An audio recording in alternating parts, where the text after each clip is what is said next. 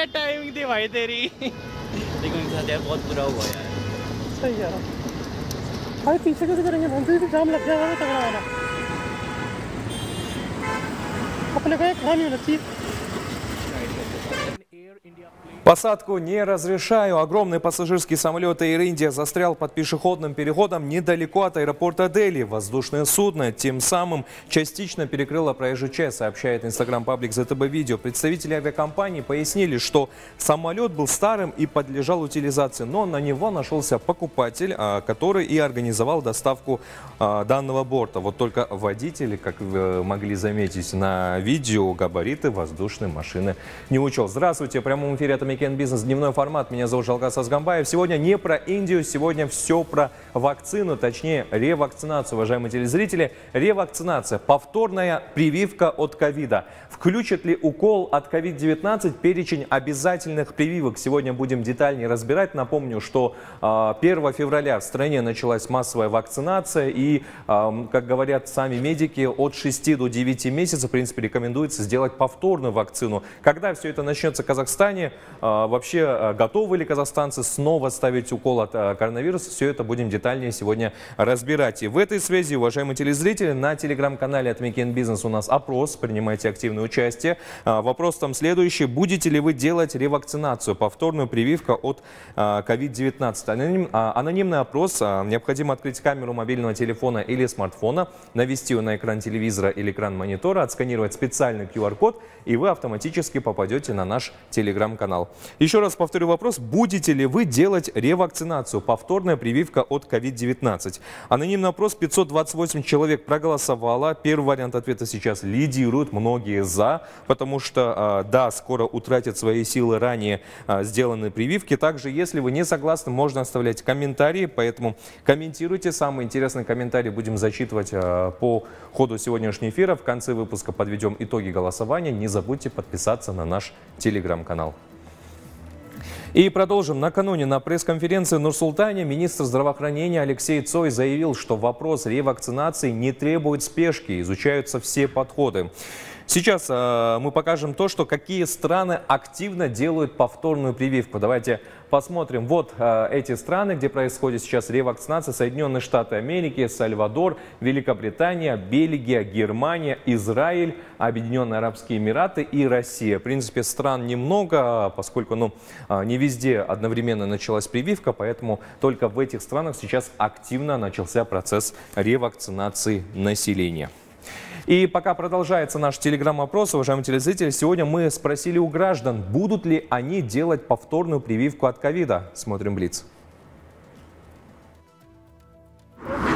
Я не против перевакцины, здоровье важнее. Абсолютно положительно. Ну, потому что мы все должны быть здоровы. Прежде всего, правильно?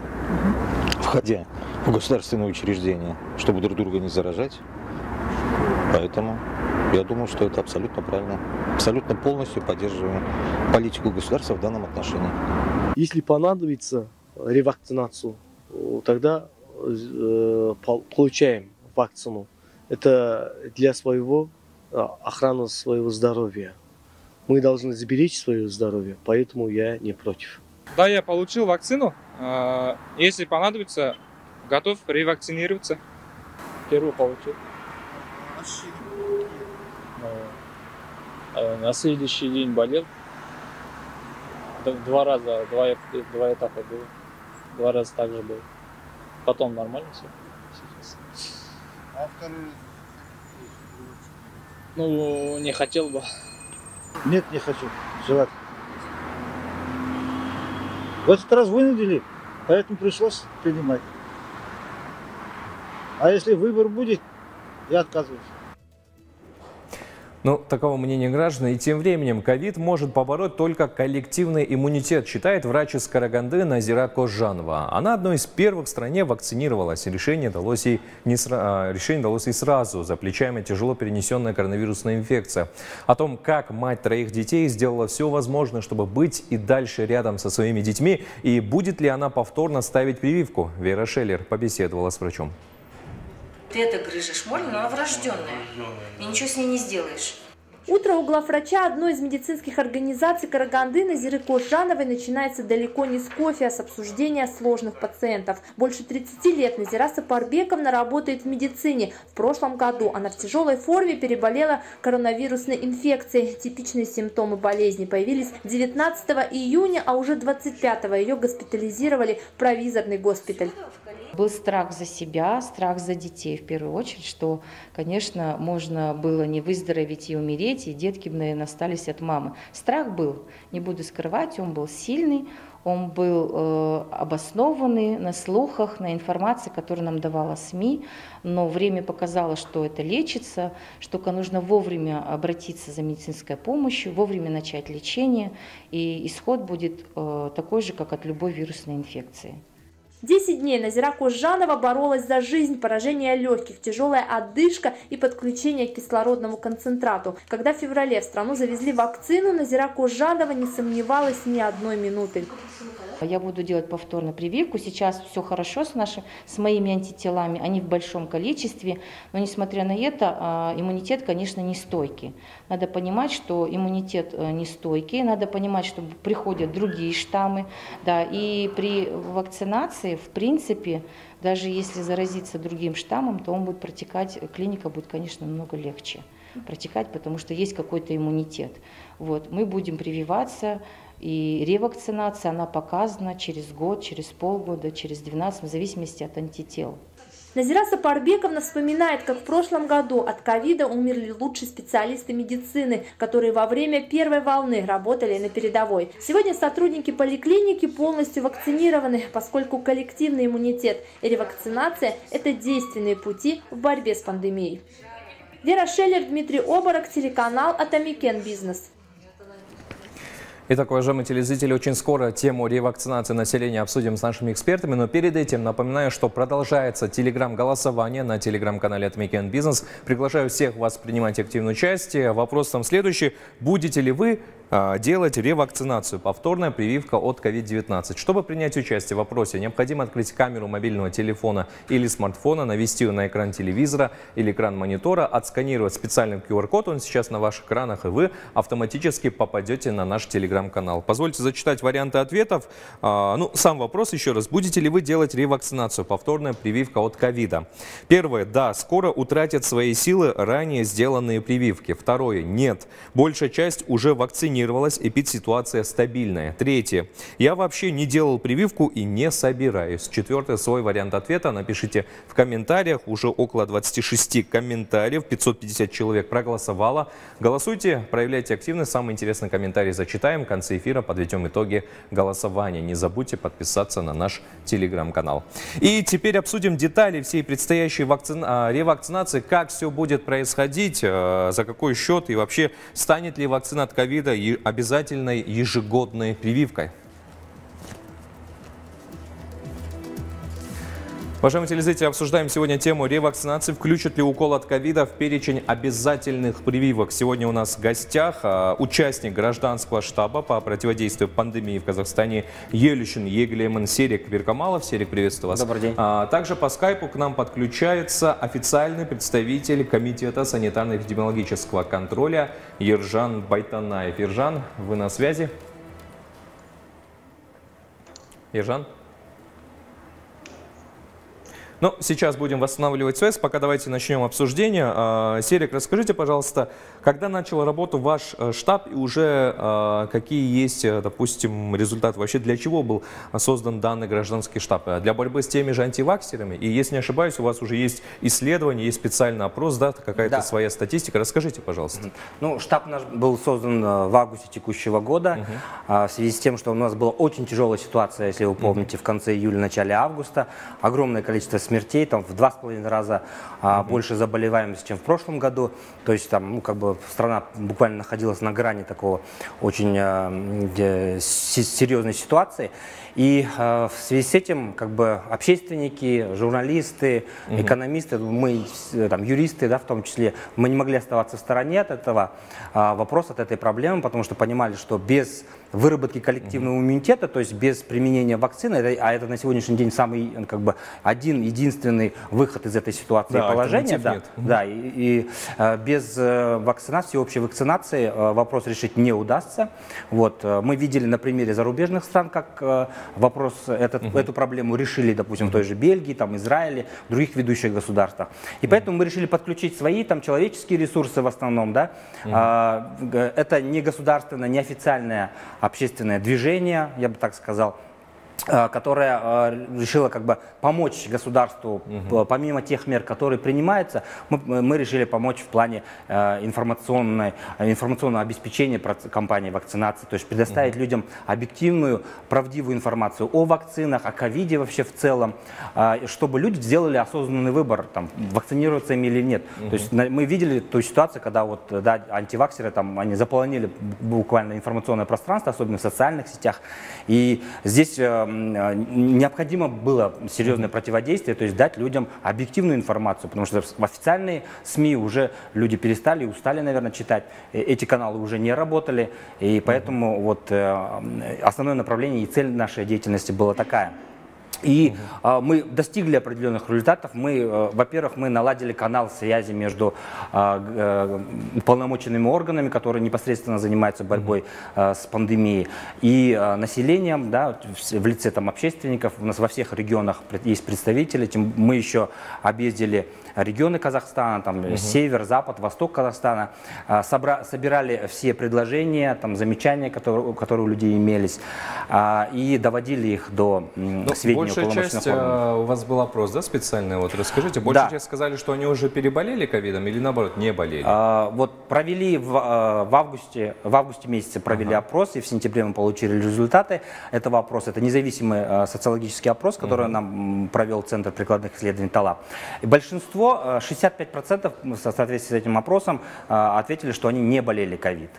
Вот. Ну, либо у них не, может быть, они болели, у них не было симптом, симптомов, вот, но в целом, как бы, э, если сравнить с ситуацией, которая э, существует, ну, реальная эпидемиологическая ситуация на сегодняшний день, мы тоже мож- можем сказать, что у нас ну, 65% населения не переболело, да, поскольку из 19 миллионов, ну, это была очень серьезная цифра переболевших. Так что я думаю, что, а, во-первых, в первую очередь, опрос он, он был очень репрезентативный. То есть мы а, опросили все регионы Казахстана, включая там столицу, там города республиканского значения, и была соблюдена вот эта эм, репрезентативность в плане там со- соотношения мужчин и женщин, соотношения возраста. То есть как бы э, э, результат этого вопроса можно принять как э, ну как бы серьезное такое Понятно. научное обоснование для дальнейших действий. Спасибо, Серик. А, Продолжим обсуждение. Я напомню, что к нам еще должны были подключиться представители управления общественного здравоохранения, Акимата, столица, но а, у них возникло срочное совещание, и, к сожалению, они сегодня в эфире участие не принимают. Но, тем не менее, у нас а, обсуждение продолжается. Официальный представитель Комитета санитарно-эпидемиологического контроля Ержан Байтанаев на связи. Ержан, а, ну, со вчерашнего дня, естественно, активно обсуждают тему ревакцинации. Вообще, а, стоит признать а, то, что а, борьба с пандемией сейчас идет на успешном уровне. В принципе, радует то, что количество зараженных не такое большое сейчас. Я думаю, это все связано, конечно же, с вакцинацией. В принципе, ограничения многие снимаются, но тем не менее снова вернулись к теме борьбы с ковидом. Теперь основная тема ревакцинация. Конечно, будет много разговоров, много вопросов, как все будет происходить, кому разрешать делать, надо ли делать. Расскажите в этом э, ключе, какая сейчас работа ведется и в целом, есть ли понимание того, когда это все начнется и вообще надо ли это начинать? Или пока, в принципе, у нас э, эпидемиологическая ситуация на должном уровне? Ежан? Э, Добрый день. Э, Да, вот правильно говорите.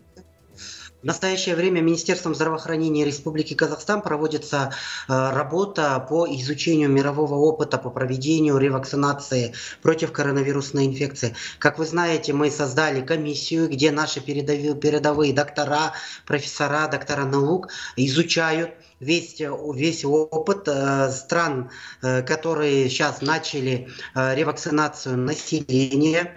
И, и, в данный момент комиссия полностью изучая э, приходит к мнению, что э, ждем э, информацию от э, Всемирной организации здравоохранения и от разработчиков вакцины. Э, Мы знаем, что в некоторых странах, даже в соседних странах на сегодняшний день начался э, ревакцинация населения после 6 месяцев, но ориентировочно мы планируем э, в начале следующего года вопросы ревакцинации, либо в конце этого года. Но на сегодняшний день э, данный вопрос полностью изучается. Просто так мы не можем э, рисковать здоровьем населения. Мы должны полностью изучить, мы должны э, ознакомиться протоколами стран, которые начали ревакцинацию, протоколами стран разработчиков вакцинации, и работа идет.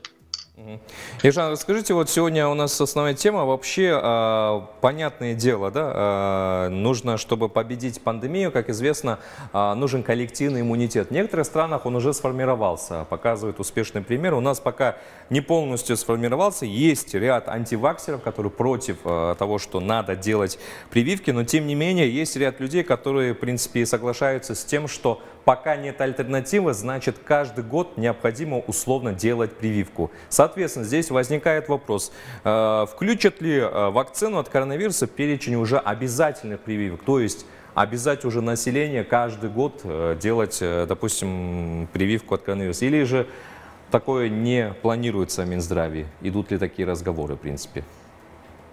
Очень правильный вопрос подняли. На сегодняшний день у нас есть национальный календарь вакцинации, где включены обязательные вакцины для населения. Э, Вакцина от коронавирусной инфекции на сегодняшний день еще не обсуждается. Э, Мы должны полностью взять э, информацию, мы должны изучить всю информацию по коронавирусной инфекции. э, И данный вопрос также комиссией и изучается. Это э, вопрос не одного дня, это будет обсуждаться не только комиссия, это будет обсуждаться и население нашей страны, и только потом мы уведомим всех наших граждан. Но э, на сегодняшний день главный вопрос это надо провакцинироваться, чтобы создать коллективный иммунитет, чтобы вернуться к обычному образу жизни. Мгм.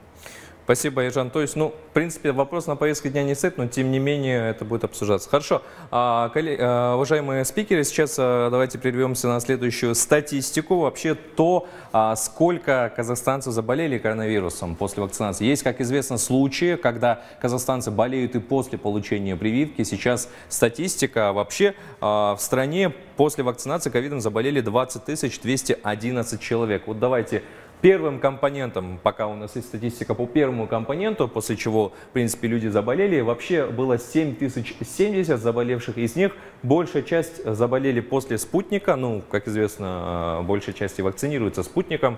Хаят Ваксом 553 человек, э, Коронавак 218, Касковидин 172. А, Вот такая данная статистика. Но здесь, конечно, мы подчеркнем то, что, в принципе, разработчики вакцины не обещали-то полную защиту от коронавируса. Естественно, есть риск заболеть, но а, есть статистика того, что если вы вакцинировались, если, не дай бог, заболели, то а, лечение, в принципе, будет э, протекать, э, скажем так, не слишком плачевно. Также то не- есть, не, такие уж большие цифры. Да, 7 тысяч, и у нас 7 не миллионов. в реанимации, это 7 самое миллионов главное, 700 да. тысяч первую ва- вакцину получили, и если 7 тысяч заболевших, там ну, 0, 0, 0,1 Да, там, 0,1%, да, это, я как хотел бы- подчеркнуть. это то, что входит как бы в э, научно обоснованные данные о вакцинах, которые сами производители делают. Ну вот скажите, пожалуйста, Сергей, есть, конечно же, и ряд антиваксеров, в принципе, противников вакцины, э, о которых много заявляли, и на уровне у руководства страны заявляли о том, что необходимо всем вакцинироваться. Вот вы э, в гражданском штабе, как именно, есть ли проводимая работа именно условной борьбы с антиваксерами, переубеждения их посредством блогеров, не знаю, посредством членов штаба вообще, э, чтобы они понимали, что это пока единственный выход. Ну, много антиваксеров на самом деле, до ну, сих пор. Не соглашусь с тем, что их много, да, в сравнении там с, Ну, я с просто населением Казахстана. Инстаграм, соцсети, их много там. Да, а их много. Это Да. такое впечатление, да, когда мы э, действительно находимся в социальных сетях, там в Инстаграме. Но вот, а, судя по социальному а, опросу, который был проведен, там э, из всех опрошенных только а, около 12% негативно относятся к вакцине. И нельзя сказать, что они все антиваксеры, да, это может быть они люди еще сомневающиеся. А э, просто Ну вот у нас явно- тоже в в Да. вопросе 17% только выбрали то, что я вообще не делал прививку и не собираюсь из Да. общего количества. Ну вот, то есть это как бы э, не такие на самом деле большие цифры. А их очень сильно видно в, анти- э, в социальных сетях, особенно там Инстаграм, там, д- допустим, да, меньше их в Фейсбуке, там. То есть это такая вот особенность и социальных сетей того, что ну, э, для этих людей это, ну, э, основ- как-то, я бы сказал, это бизнес-модель, да, они получают Мгм. на этом какие-то определенные выгоды, а, там, по ходу а, б- б- критикуют там вакцины, рекламируют свои там услуги и товары, вот, это все понятно. Э, И вот задачи нашей на- штаба, вот непосредственно вот только поставить там задачу борьбы с антиваксерами мы не ставили себе, Мгм. а, потому что а, наша главная задача это предоставить всем информацию, объективную, там, а, наглядную, доказательную информацию о вакцинах, чтобы люди сами сделали выбор. А вот тех людей, которые, вот, которых и президент назвал упертые антиваксеры, которые, ну, их, их бесполезно уговаривать, там, да, их не переубедишь, потому что для них это, для кого-то там, э, а, это, а, ну, там, не знаю, цель жи- жизни, там, да, для кого-то там какие-то э, связаны с какими-то там своими идеалами, там, да, а, антигосударственными. Мгм. А, Поэтому с ними бороться бесполезно. Наша задача а, предоставить людям возможность осознанного выбора именно тем, кто на сегодняшний день еще сомневается там, в вакцинах, да, у них есть какие-то а, сомнения в, в эффективности, то есть мы им предоставим эту информацию. А с антиваксерами, я думаю, должны рабо- э, бороться правоохранительные органы, а, потому что мы усматриваем в их действиях там, и состав уголовных преступлений, там, в Мгм. частности, там, распространение заведомо ложной, Ага. а, заведомо ложной информации. Мгм. Они ну, реально вводят людей в заблуждение и более того, э, как бы ставят под угрозу жизнь и здоровье людей. Мгм. И многие люди погибают просто. То есть ну, есть прямая, очевидная а, причинно-следственная связь между этими действиями. Поэтому я думаю, что правоохранительные органы должны этим заняться. Это, это не наша задача как штаба. Ну, в принципе, уже и были же примеры, когда им наглядно показывали, как, в принципе, работают ковидные госпитали. Н- Насколько Ну, вот я знаю, удивительно, да. блогеров, да, туда прям красную зону э, Ну а самые пустили. ярые антиваксеры, кстати, отказались идти в ковидные госпитали, Мгм. несмотря на то, что они говорят, что ковида не существует, мы не боимся этого. Но когда им конкретно предложили пойти в ковидный госпиталь, э, они э, отказались, побоялись этого. То есть понятно, что это какая-то своя политика. Кстати, да, э, вы отметили то, что надо с ними уже э, на административном уровне, в принципе, предложение бороться. Кстати, здесь а, возникает следующий вопрос у меня к Ержану. Вот в соцсетях у нас а, снова пишут пользователи о том, что а, Минздрав готовит почву для того, чтобы штрафы за отсутствие вакцинации работников стали легитимными. На портале «Открытая МПА» сейчас вынесено обсуждение. Что скажете на этот счет, Ержан, в принципе? Э, Правда ли это? Буквально вот я зачитаю. О внесении изменений и дополнений совместный приказ министр- министра здравоохранения Республики Казахстан, министра нацэкономики об утверждении критериев оценки степени риска и проверочных рисков в сфере санитарно-эпидемиологического благополучия населения. То есть принятие данного подзаконного МПА, как пишут пользователи, полностью исключает добровольность волеизъявления граждан на вакцинацию. Более того, по степени нарушения наличие паспорта вакцинации, наличие ПЦР, медсправки, и так далее. Эти требования предлагаются утвердить в проверочном листе. Правда ли так на самом деле? И если разъясните, да, данную. Если вы сами читали данные НПА, э, там нету того, чего вот люди пишут. Там есть именно по сфере услуг, что работодатель не должен допускать э, именно э, сферу услуг работников невакцинированных, либо не прошедших ПЦР-тестирование каждые 7 дней. Это только для сферы услуг. Понятно. То есть, Я вот э, в правом плане мог бы доб- добавить Ага. по этому вопросу, потому что здесь никаких там проблем юридического применения а, административной ответственности к работодателям на сегодняшний день не существует, потому что у нас есть э, соответствующая статья Кодекса о здоровье на- народа и населения, в соответствии с которым там, главный санитарный врач вправе устанавливать определенные ограничительные меры. А, Соответственно, это норма закона. А, Точно так же в Трудовом кодексе есть мера, что работодатель обязан отстранить работника от работы, если он не, не соответствует тем требованиям, которые установлены уполномоченным органом, а это вот как раз таки постановление главного санитарного врача. То есть здесь никаких э, как бы пробелов и изъянов в законодательстве нету, и вообще там как бы это вопрос не, не для того обсуждения. Ну, Серик, и чтобы зрители наши тоже не, сомнев- не сомневались, уважаемые телезрители, напоминаю, что вход в нашу студию тоже по системе АШЕТ, в принципе, и мои коллеги, все, в принципе, большая часть вакцинирована, у всех зеленый статус, поэтому в этом плане у нас даже социальная дистанция, все это соблюдается. В этой связи сейчас продолжим обсуждение, но перед этим напоминаю, что продолжается телеграм-голосование, принимайте активное участие, уважаемые телезрители. Вопрос там следующий. Будете ли вы делать ревакцинацию, повторная прививка от ковида? Необходимо открыть камеру мобильного телефона или смартфона, навести ее на экран телевизора или экран монитора, отсканировать специальный QR-код, он сейчас на ваших экранах, и вы автоматически попадете на наш телеграм-канал. Уже 582 человек проголосовало, 46% за то, что да, скоро утратят свои силы ранее сделанные прививки, 33% за то, что нет, большая часть уже вакцинировалась, и пить ситуация стабильная. Голосуйте, комментируйте. Вот, кстати, про то, что большая часть уже вакцинировалась. Э, Ержан, можно, пожалуйста, узнать а, актуальную статистику, в принципе, какая часть населения уже вакцинировалась? И вообще, как известно, ранее это министр э, всегда представлял сценарий развития оптимистичный, пессимистичный. И в прошлом году был такой сценарий, но потом, а, как известно, у нас то к лету э, разгоралась эпидемия, скоро Новый год, как говорится, сейчас осень, в принципе, некоторые гриппом болеют и так далее. Какой сценарий сейчас в стране, какой, в принципе, возможен, если расскажете?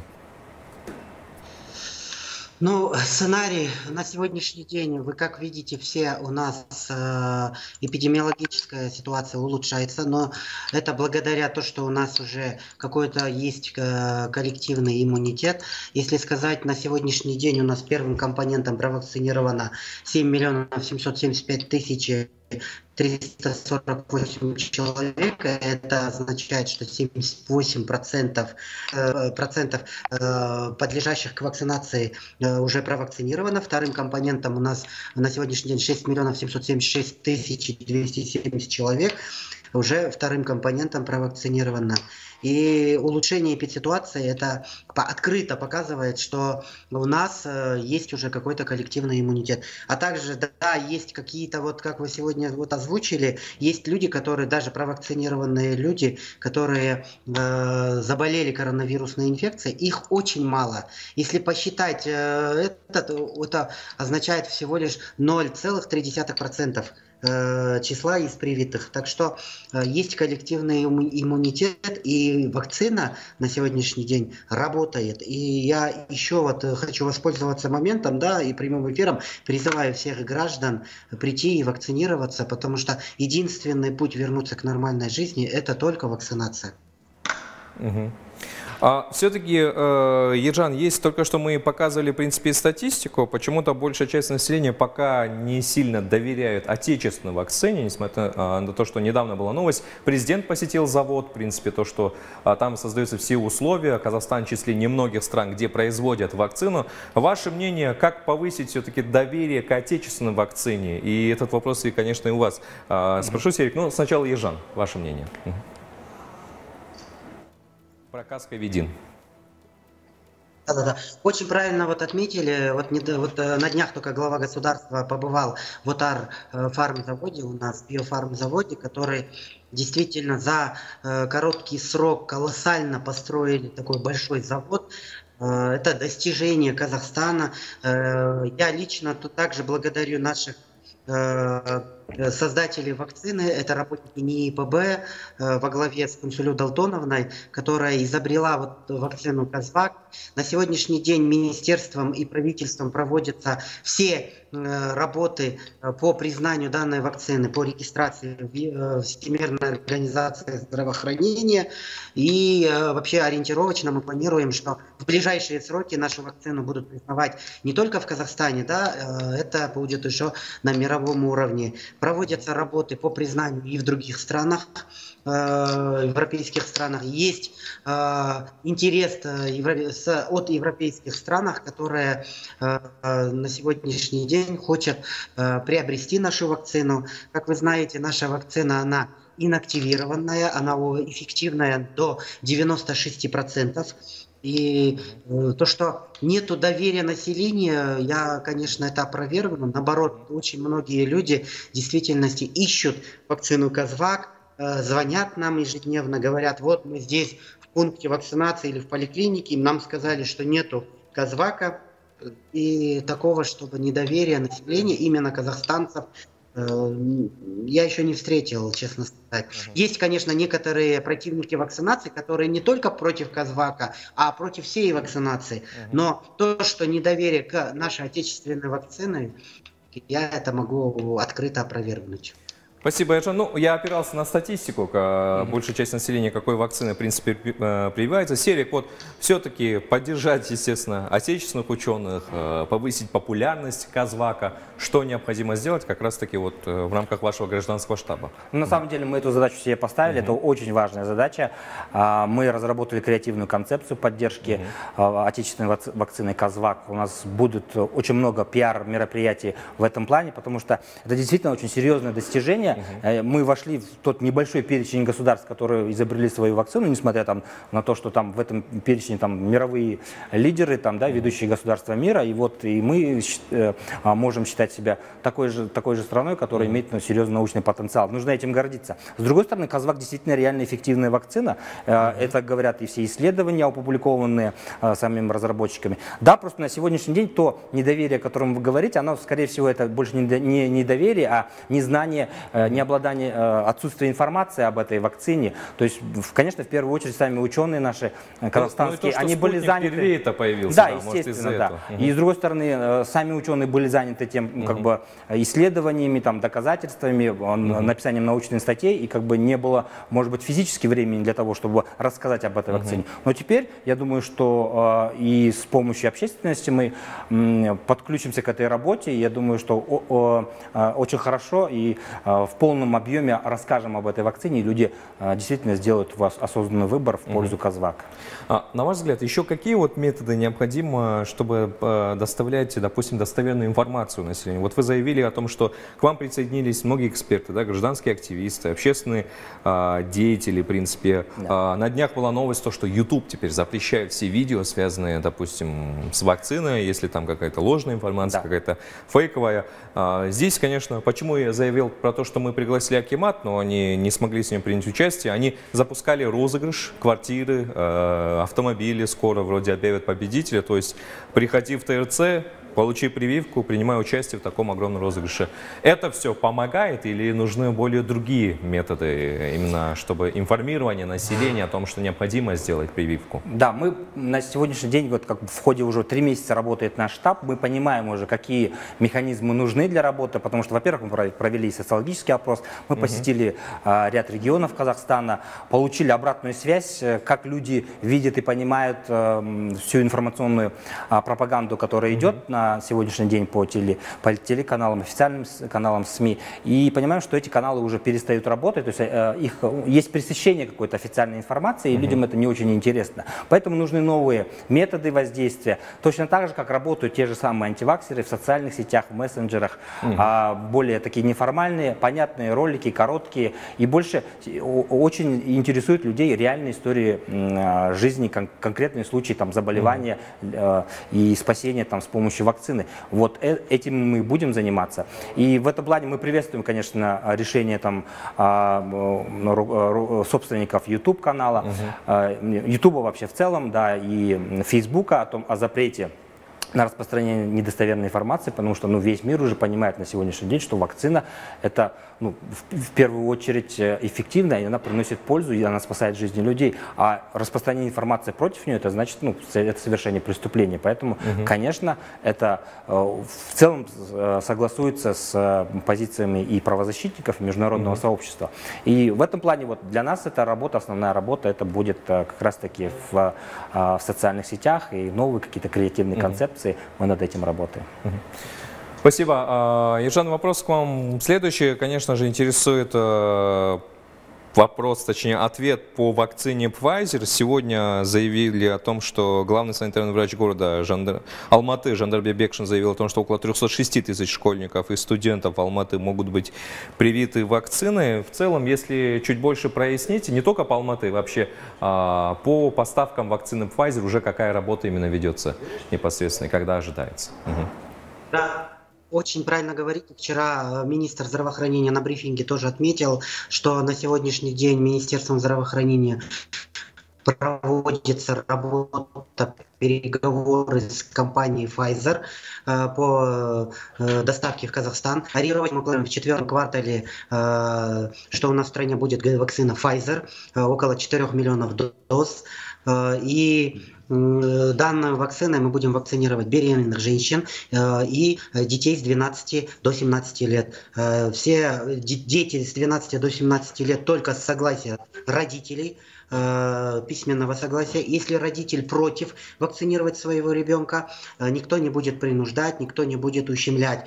Э, У нас много просьб, много писем от родителей, которые хотят вакцинировать своих детей, и мы должны удов- удовлетворить их желания. Вакциной Pfizer ориентировочно в четвертом квартале мы начнем вакцинировать беременных женщин и детей, де- детей с 12 до 17 лет. Только с согласия родителя. Спасибо, э, Ежан. Э, Напоминаю, уважаемые телезрители, продолжается телеграм-опрос. Голосуйте. У нас осталось немного времени, чтобы, в принципе, э, подытожить. Э, Серик, все-таки сейчас ну, уникальная возможность еще раз в прямом эфире призвать людей к тому, что необходимо сделать э, вакцину. Конечно, выбор каждого, добровольно, никого не принуждаем, но тем не менее, если брать, допустим, э, опыт других стран, да, вы, наверное, изучаете там, как борются с антиваксерами, противниками вакцины, и их опыт как-то применим у нас? А, Я думаю, что применим. Мне кажется, Да. раньше, помните, были жесткие методы, когда карантин был, в Индии, что ли, палками людей били. Ну, это, конечно, да, не надо этого делать в Казахстане, конечно, я ни к чему не Ну, клоню. а, во многих ведущих там европейских государствах, ну, там столпы там, да, прав человека, да, мы Мгм, говорим, а, применялись принудительные, реально принудительные меры, там баснословные штрафы, а, недопуски на работу там определенных категорий граждан, а, то, чего мы даже не применяли, да, несмотря на то, что вот мы говорим там, что мы хотим там тоже быть такой же демократической страной, как, как и все другие.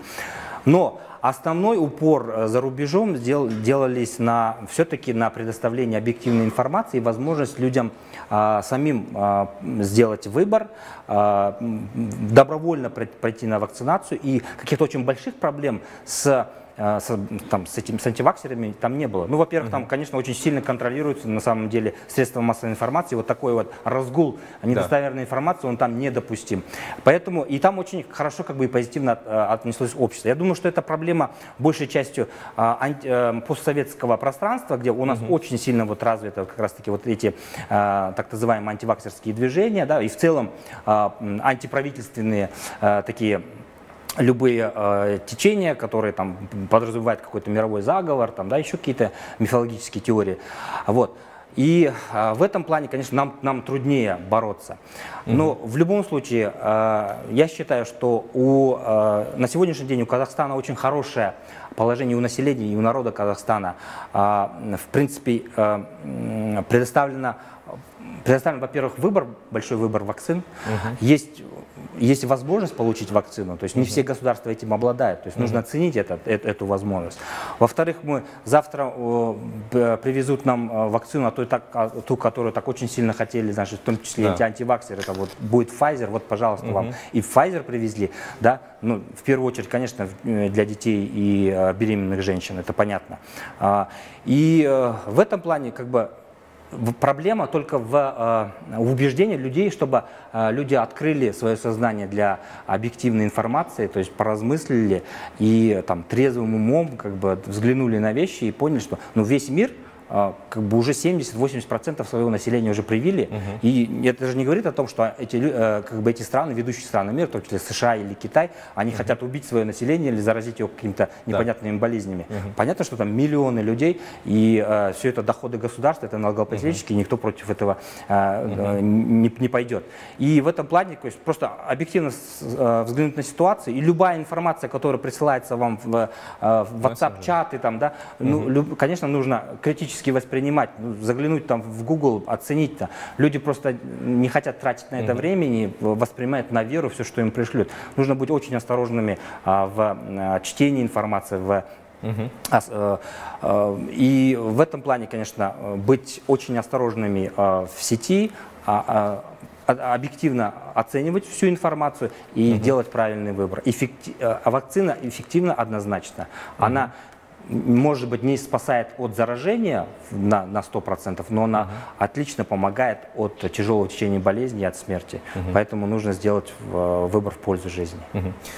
Спасибо, очень хорошие тезисы. И подытожить сегодняшнюю нашу беседу, Ержан, все-таки возвращаясь к теме ревакцинации, чтобы э, вкратце, условно, если можете сказать, что э, примерно еще раз когда и какие работы будут э, проведены, чтобы, конечно, и мои коллеги из СМИ не раз не задавали вам подряд те же вопросы, допустим, и чтобы успокоить наших телезрителей про ревакцинацию. Будет, когда и что? Как будет? Мгм. Я же еще раз повторяю, Да, да. что на сегодняшний день Министерством здравоохранения проводится работа по изучению мирового опыта по проведению ревакцинации среди населения. Рекомендации относительно ревакцинации, возможно, будут доступны с появлением новых данных о длительности иммунитета и зависит от мутационных факторов коронавирусной инфекции. На сегодня вообще вот на мировом уровне отсутствуют четкие рекомендации относительно данного вопроса. Некоторые страны, конечно, да, принимают решения по ревакцинации населения на основании текущей э, заболеваемости, но мы должны все изучить. У нас, вот как я говорил, э, ко- коронавирусная инфекция создана именно комиссия, которая изучает вот э, стран, опыт стран разработчиков. Изу- И сейчас данный вопрос полностью обсуждается. И мы должны не торопиться, но ориентировочно в конце года, либо э, в начале следующего года мы э, начнем вопросы ревакцинации, если, конечно, комиссия примет положительное решение. Части ревакцинации можно Да, дополнить? конечно. Да, э, я бы хотел сказать, что ну, из логики принимаемых государством решений понятно, что реше- п- принятие решения о ревакцинации оно а, будет, там в ближайшее время министр об этом сказал, и в этой части однозначно понятно, что ревакцинация будет добровольной. Ну, у нас и вакцинация на сегодняшний день это дело добровольное. Ник- никто никого принуждать к ревакцинации не будет однозначно, и тут э, страхи э, там, населения не обоснованы. Я бы так сказал, эти страхи больше, опять-таки, в тех же самых социальных сетях. Мы ездили по регионам, люди, наоборот, просят, когда сделают ревакцинацию, потому что у нас очень много людей, которые в феврале месяце, это а, эм, работники правоохранительных органов и сами медики, получили вакцину еще в феврале месяце. Уже прошло больше шести месяцев, и они опасаются, что они теперь могут быть подвержены заражению. Поэтому просят, дайте нам э, возможность в добровольном порядке хотя бы получить вакцину, ревакцинироваться. Поэтому никаких проблем в этом нету. Да, не теряйте времени, как говорится. А, Ну, спасибо большое. А, Серик, а, надеюсь, все вас сегодня услышали, все наши телезрители, все, кто сегодня смотрит наш эфир. Напомню, что мы обсуждали тему ревакцинации. Включат ли укол от COVID-19 перечень обязательных прививок? Сегодня на прямой связи по скайпу был официальный представитель Комитета санитарно-эпидемиологического контроля Ержан Байтанаев, а также в студии а, участник гражданского штаба по противодействию пандемии в Казахстане Елющин Еглемин Серик Беркамалов. Уважаемые гости, спасибо за обсуждение в данной сегодняшней Спасибо. теме. Но мы продолжим. Эпидемиологическая ситуация в стране по-прежнему остается в фокусе внимания врачей-инфекционистов. А COVID-19 бросил серьезный вызов мировому сообществу и не дал ни малейшего шанса на раздумье. Сдерживание распространения вируса удалось за счет оперативной переквалификации всего медицинского состава и научных разработок. Эти темы сегодня обсуждают на втором казахстанском конгрессе инфекционистов в Нур-Султане. Подробнее в сюжете. Несмотря на то, что рост заболеваемости коронавирусной инфекцией значительно пошел на спад, расслабляться все же не стоит. Нужно помнить о ношении масок, дезинфекции и социальной дистанции. В приоритете, конечно, остается коллективный иммунитет и вакцинация. На сегодняшний день привито уже 8 миллионов казахстанцев. Они могут получить как зарубежный препарат, так и отечественную вакцину на выбор. Только за этот год выпустили более 3 миллионов доз вакцины «Козвак». Еще 9 планируют к следующему году. Для этого был построен специальный биофармацевтический завод, а также вторая производственная площадка Института проблем биобезопасности. На сегодня с 13 странами мира достигнута договоренность о взаимном признании паспортов вакцинации.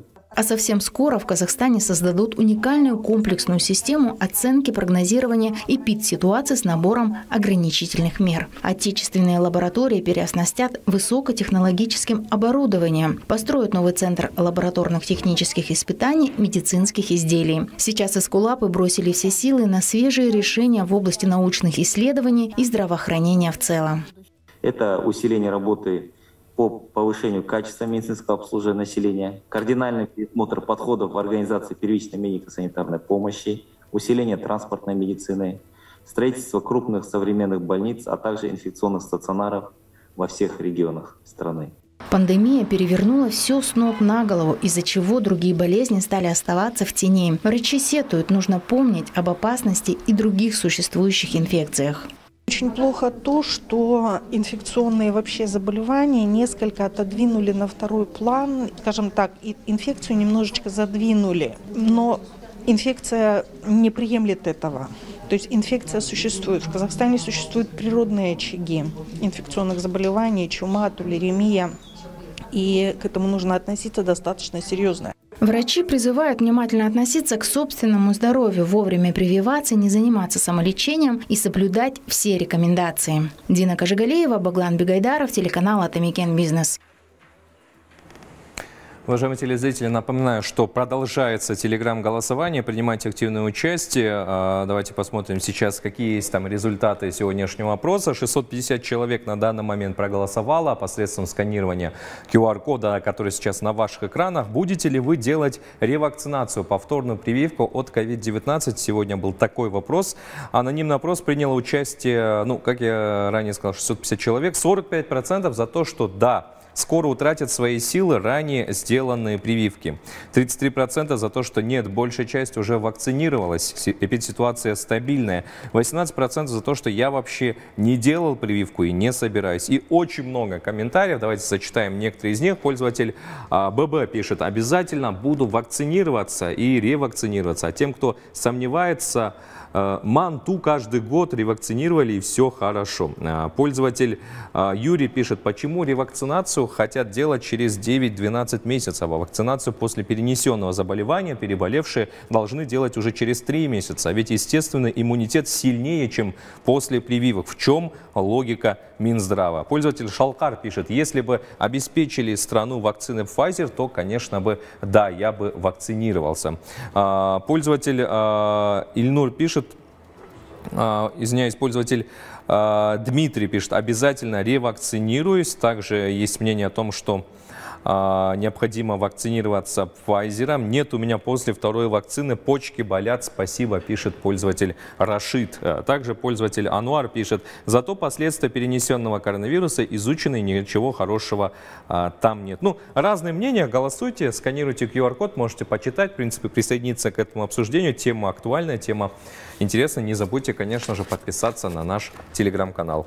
Продолжим по теме вакцины. Евросоюзу стоит рассмотреть вакцину против коронавируса вируса «Спутник Лайт» в качестве бустерной дозы на фоне снижения эффективности вакцины Pfizer, заявил Российский фонд прямых инвестиций. Предложение фонда Pfizer связано с ростом числа заболеваний вариантом коронавируса Дельта в США и Израиле. Однако инициатива инъекции третьего укола спутником Light для тех, кто полностью вакцинировался двумя инъекциями вакцины Pfizer, должна исходить от врачей и биотехнологов, считает депутат Государственной Думы Геннадий Онищенко.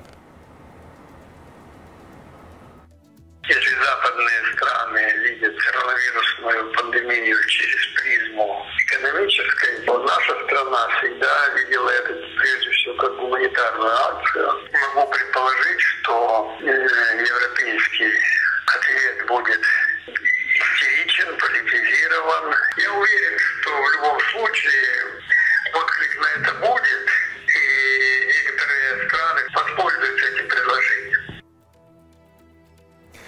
Между тем, российские ученые возьмутся за разработку единой вакцины против гриппа и коронавируса. В основе технологической платформы будущего препарата гибридная вакцина против ротавирусов. И параллельно с ней идет разработка препарата против различных вариантов коронавируса. Об этом газете «Известия» заявил руководитель Центра имени Гамалея Александр Гинзбург. Когда начнутся клинические испытания препарата, в обзоре моего виртуального коллеги Айсанж. Айсанж, приветствую. Тебе слово. Приветствую, Жалгас.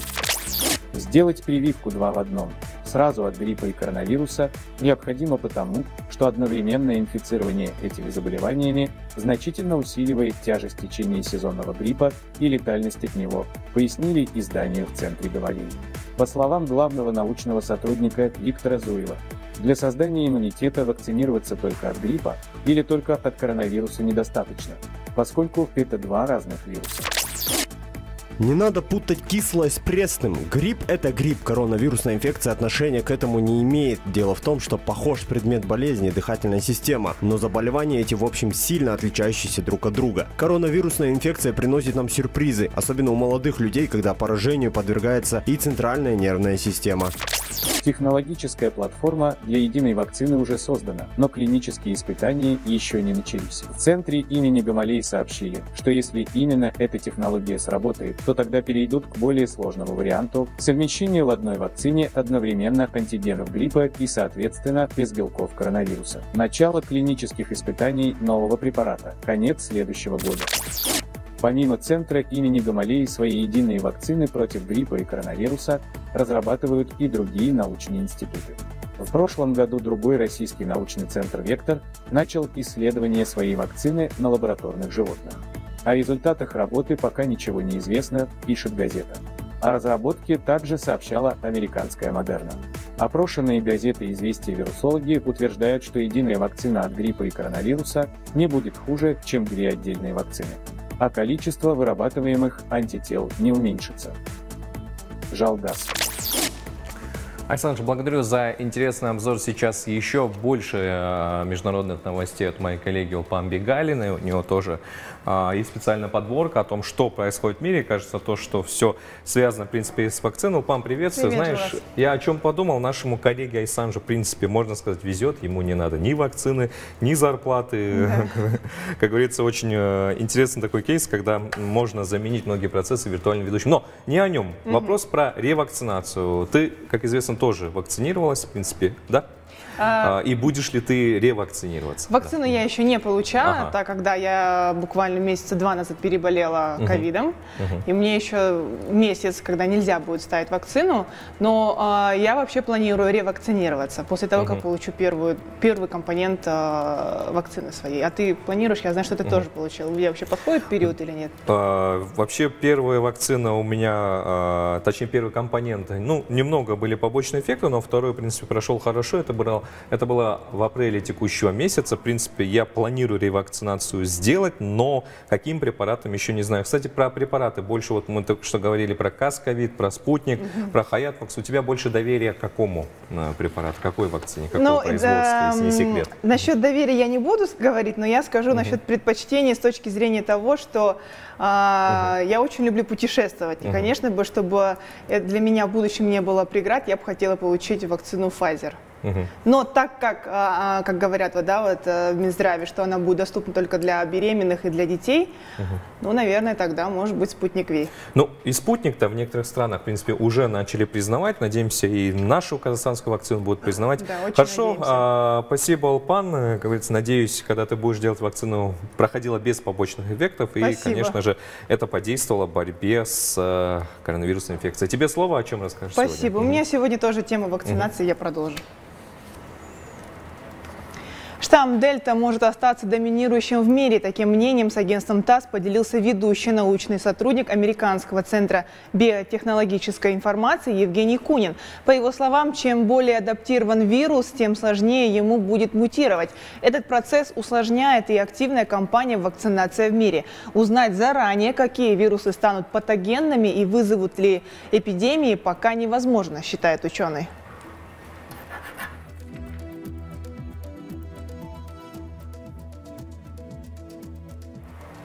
А вот власти Дании решили прекратить вакцинацию несовершеннолетних Модерной. Как сообщает издание Local со ссылкой на заявление местных властей, решение принято как мера предосторожности. Но этой вакциной в стране привились уже более тысячи человек в возрасте до 18 лет.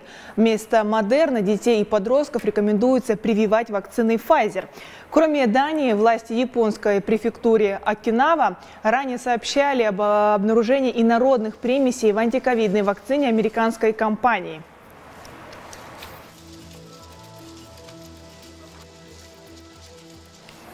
Между тем, Всемирная организация здравоохранения рекомендовала к применению первую вакцину от малярии. Ее будут вводить детям с пятимесячного возраста четырьмя дозами.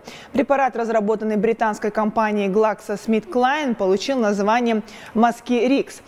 Его применение снизило количество тяжелых заболеваний малярии на 30%. По словам главы ВОЗ, с 2000 года смертность от малярии сократилась в два раза, а во многих регионах планеты болезнь полностью исчезла. Однако в мире ежегодно фиксируют 200 миллионов случаев инфицирования и 400 тысяч летальных исходов от малярии. Today, WHO is recommending the broad use Человечество давно мечтало об эффективной и безопасной вакцине от малярии. И этот исторический день настал. Рекомендация основана на результатах продолжающегося пилотного проекта в Гане, Кении и Малави, в ходе которого с 2019 года более 800 тысяч детей получили прививку. Шалгас, и на этом у меня вся подборка международных новостей. Тебе слово. Ну вот так эти уколы и вакцины прочно вошли в нашу реальность. Спасибо, Да. Улпан, за интересный обзор. Сейчас к нам Спасибо. присоединяется, уважаемые телезрители, мой коллега Руслан Меликша. У него свой, автовзгляд, а, свой авторский взгляд, но не по теме вакцины. У Руслана сегодня тема про казахский язык. Руслан, вам слово. Да, Жалгаз, спасибо. Здравствуйте, уважаемые зрители! Отныне все дорожные знаки, уличные указатели, любая реклама, все объявления, инструкции в лекарствах, ценники в магазинах, а также меню в ресторанах и кафе должны быть только на казахском языке. С чего вдруг, спросит кто-то из вас? А с того, что буквально накануне наша Нижняя Палата Парламента Мажилис принял законопроект о визуальной информации. И в нем предусмотрено, что все указатели, надписи и ценники должны быть только на государственном языке. А размещение на других языках может быть только при необходимости. Ох, представляю, как эта новость вызовет буквально бурю эмоций, слухов, разнотолков. Социальные сети заполонят, где одобрительные, а где и гневные комментарии. Граждане разделятся на два лагеря, кто за и кто против. Будет, будет много разговоров. Ну а по справедливости, что тут говорить-то? Раз мы живем в государстве под названием Казахстан, то главенство казахского языка в обществе не должно вызывать сомнений, верно же? Ведь мы не возмущаемся во Франции, почему там никто не говорит по-казахски или по-русски, никому в голову это не придет. Они там даже по-английски не хотят говорить, только на своем французском. То же самое, наверное, должно быть и здесь. Но мы не Франция, а по-французски здесь не говорят. Мы Казахстан, но и по-казахски здесь тоже не говорят. Посмотрите вокруг. Телевидение и радио вещают в основном на русском. Интернет полностью практически на русском. Все наши объявления и указатели тоже на русском. И ценники, и меню, и реклама тоже. Все новости во всех наших СМИ заполонены российскими событиями. Наше информационное пространство находится в крепких российских объятиях. Мы больше знаем о том, что происходит там, чем здесь. Мы будто до сих пор живем в единой стране, где наша столица – это Москва, где Алла Пугачева – это наша народная артистка. Живем в пространстве, где звезды российской эстрады, юмора, сериалов и спорта как будто наши родные люди. И не только они. Вот сегодня весь казахстанский интернет наполнен радостной вестью о том, что Владимиру Путину исполнилось 69 лет. Я поздравляю Владимира Владимировича, но у нас есть свой президент, и при этом мы не знаем, сколько ему лет и когда у него день рождения. Об этом ведь никогда не пишут. Теперь об указателях, рекламах и объявлениях на государственном языке. Об этом говорят и трезвонят уже давно, очень давно. Но за три десятилетия этот вопрос не продвинулся ни на шаг. И не пойму почему. И вроде большинство населения у нас люди титульные, то есть казахской нации. И вроде во власти сидят тоже люди этой национальности. А почему так говорят все не на государственном, а на русском и даже на английском? Нашим министрам легче объясняться на других языках, при этом они в совершенстве знают иностранные, щеголяют на них при каждом удобном случае. А когда дело доходит до казахского, скажут на нем пару слов и переходят на русский. Как будто стесняются говорить на своем, боятся запачкаться им. Переживают, что их славные мысли и грандиозные идеи не поймут, не оценят, не похвалят. А между тем говорить на своем родном языке не просто надо, а это жизненная необходимость. Вот буквально вчера прочитал одну прекрасную мысль о том, что народ обретает бессмертие только через язык. Не будет языка, не будет и народа. Если сами казахи не говорят на казахском, то что требовать этого от других наций? Начните с себя. А то ведь все эти законы по переписыванию указателей на государственный опять останутся только на бумаге. У меня на этом все. Жалгас. Руслан, спасибо за интересный обзор. Сейчас продолжим, но не по теме казахского языка, а про то, что э, вот э, в Казахстан вновь прилетел известный общественный э, блогер-урбанист из России Илья Варламов. Напомню, ранее он посещал город Нур-Султан на прошлые годы. Э, он прилетел в город Туркестан и рассказал пользователям сети о своих съемках и приключениях. Его не устроили то, э, как местные охранники в Туркестане не дают ему снимать красоты Туркестана, а также самих других местных комплексах и музеях слишком много запретов, сообщает портал ЗТБ Видео. Красивые моменты блогер тоже отметил, а их на самом деле много. Тем не менее, мнение блогера Ильи э, Варламова прямо сейчас мы вам покажем э, данное видео посещения города Туркестана. Я с вами прощаюсь. 20.00 итоги дня подведет Дмитрий Мачель. Оставайтесь на Atomic Бизнес. Берегите себя.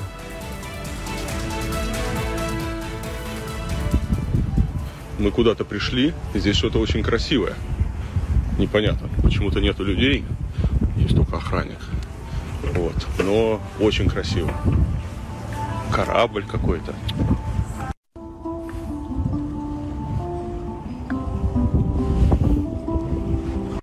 Общем, друзья, происходит что-то странное. К нам постоянно подходят охранники и говорят, что нельзя ни в коем случае снимать. А, спрашивается, зачем это все построили, для кого, если это нельзя снимать.